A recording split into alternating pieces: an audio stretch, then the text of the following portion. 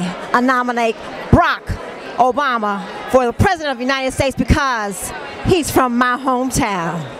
Barack has demonstrated that he's committed to changing our community, improving the quality of life in our community, and just being a good guy. Barack brings good ideals, good energy to a community or to a society that needs a little juice.